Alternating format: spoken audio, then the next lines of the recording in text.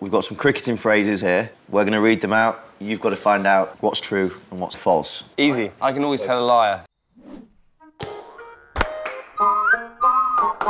Sticky dog. When uncovered wickets start to dry, they become sticky and difficult to play on. Greasy pigeon.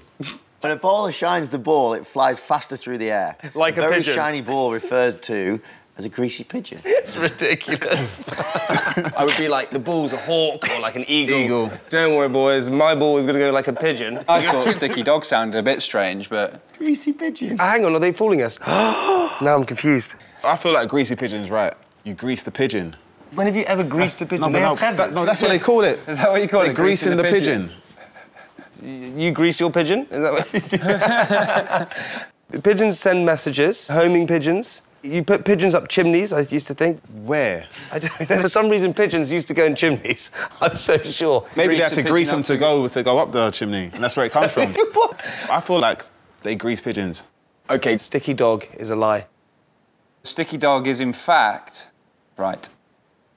Well, then why did I go against it? I don't know. He was going to go you for that. You made one. me go I didn't go for like, it. You were like, greasy pigeon. I was like, could be. And then you talked about putting it up the chimney, and I was like, that could be right.